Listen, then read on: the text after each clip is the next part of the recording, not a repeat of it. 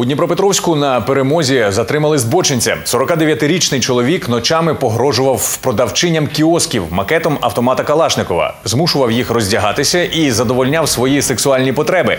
Поки що до поліції звернулася лише одна потерпіла. Пошуки інших тривають. Чоловіка можуть посадити на 5 років.